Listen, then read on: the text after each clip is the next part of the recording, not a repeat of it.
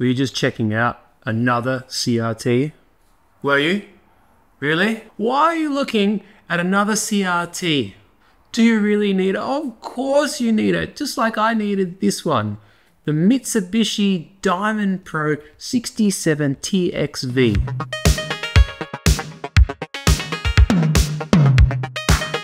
I scored this computer monitor bundled up with a Power Mac 7600 and it came with this DB15 to HD15 adapter with dip switches and stuff. But that Power Mac broke. So, what else am I supposed to do? But that's okay, because I have one of these. A few, actually. An adapter for my modern PC. This one is actually a USB-C to VGA adapter, but down there on this PC, I just have a DisplayPort to VGA adapter so I can enjoy all my favorite vintage shows, PC games, and video games in glorious 4 3 4 3 aspect ratio, the way it was meant to be.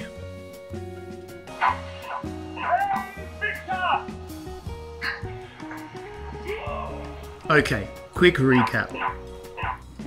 Sony Trinitron developed this aperture grille technology in the 60s and it blew everything else away at the time. It was bright, crisp, clear, and up until about 1996 when they when the patent ran out, the competition was mainly made up of shadow mask tube technology, which had caught up significantly and some of my favorite monitors and CRT televisions are Shadow Mask.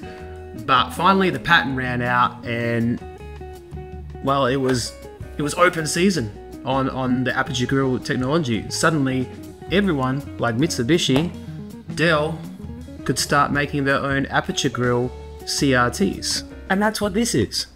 Mitsubishi's own Diamondtron, the Diamondtron technology that they copied from Sony, which they were allowed to legally now. And just so you know how quickly they jumped onto that, this monitor is from 1997, so only a year after Sony's patent expired, companies were jumping onto this technology and making some of the best monitors ever made. Now the reason why I wanted to make a video about this Diamondtron is because I hadn't found much information about it on the internet. The Diamondtrons, the Diamond Pros from Mitsubishi are incredibly popular and they're, they're, they're quite sought after in the CRT community, but not this model. It seems to be like the Diamond Pro 930 SB or the 2070 SB, um, and they have really high resolutions and refresh rates. It says here that the 2070B can do 2048 by 1536 at 86 hertz or 1600 by 1200 at 190 hertz because it's a 21 inch monitor. That's insane. But not this puppy here. This one maxes out at 1280 by 1024 and I have tested it at 1024 by 768 at 85 hertz and that works fine. At the moment I'm using 640 by 480 at 75 hertz,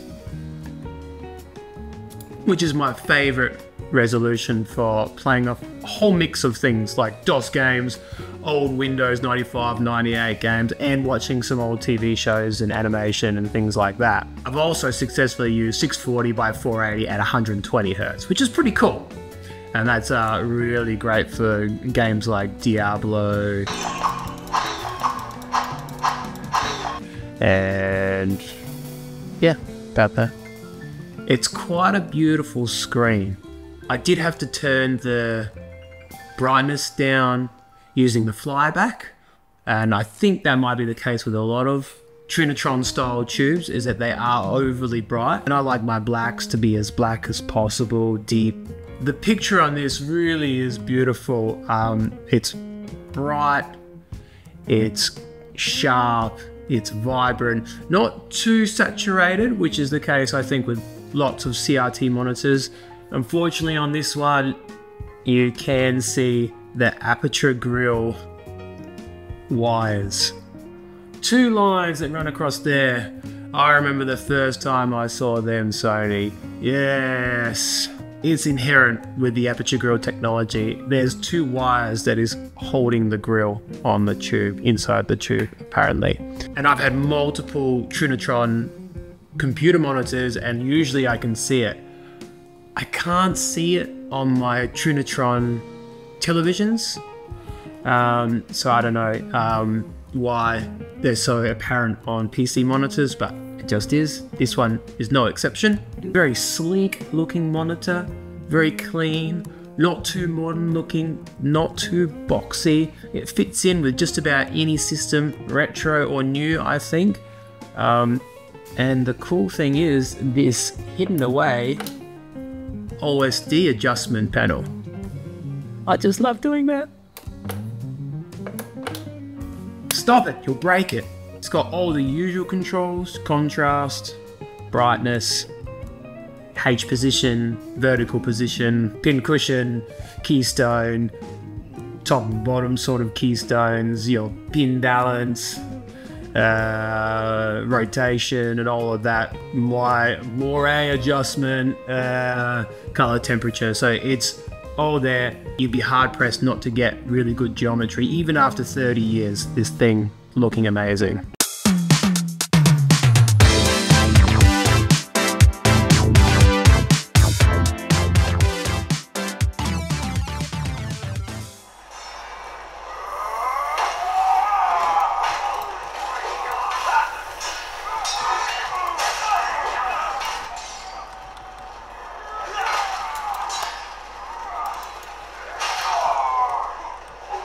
Anyway, let's crack it open and see what it's like on the inside.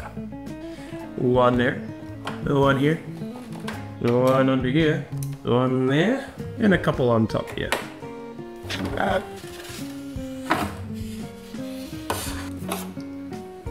that it is an exciting piece of machinery. Don't ask me what all of it does. I know some of the basics, right? There's not much to do inside of this monitor as with a lot of Trinitrons and, uh, you know, rebadged Trinitrons and whatnot.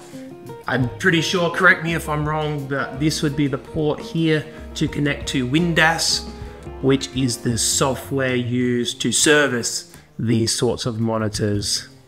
There are no pots on the inside to adjust convergence or the RGB drives and cutoffs. The only three that we've got here that we can really play with are uh, screen and focus. Bottom one is screen or G1, and that's going to increase or decrease the voltage and the brightness. Going to your tube, that's the one that I decreased. And overall, I felt like that gave it a much better uh, look. It wasn't so blown out and uh, blooming. And then the focus is adjusted by these two, which is quite common. Instead of just having one pot, there is two.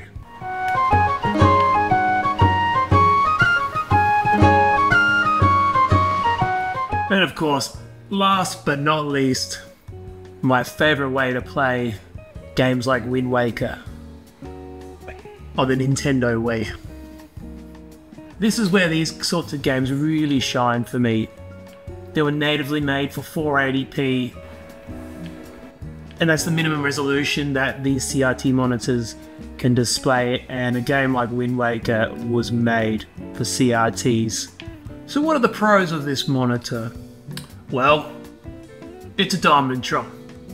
So it's got that classic aperture grille look, and it's well made to a high standard by Mitsubishi. So you can almost be confident that it's going to be great when you pick it up, no matter how old it is. It looks pretty cool. It's got a funky push button thing there. Don't know whether that's going to make or break it for you. Now there aren't too many cons.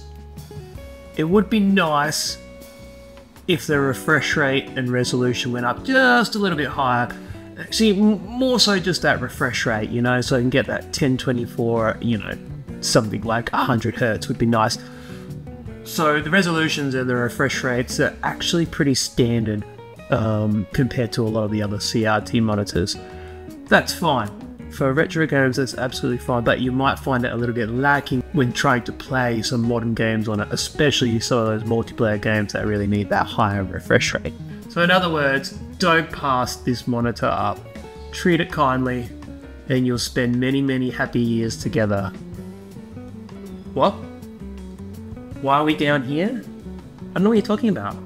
Shh. And I think we'll leave it there with a sneak peek of what I have replaced this Diamondtron with up there on my never ending journey to CRT Nirvana. Stay tuned for that video. It's gonna be big. I've got a problem.